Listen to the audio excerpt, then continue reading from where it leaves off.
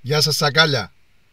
Είναι δύο βλάχοι στο χωριό και πάνε προς τα πρόβατά τους. Εκεί συναντιούνται στο δρόμο κάποια στιγμή στη βρύση και λέει ο ένας τον άλλον ε, Hello John του κάνει ο, ο Γιώργος του Γιάννη λέει ο Γιάννης ε, τι hello, τι μου λες τώρα, τι, τι είναι αυτά, τι γλώσσα είναι αυτή; Ένα του λέει είμαστε στην Ευρωπαϊκή Ένωση ε, παίρνουμε επιδοτήσεις από την Ευρωπαϊκή Ένωση. Πρέπει και εμείς να μάθουμε αγγλικά να μπορούμε να εξυγχρονίσουμε τη δουλειά μας.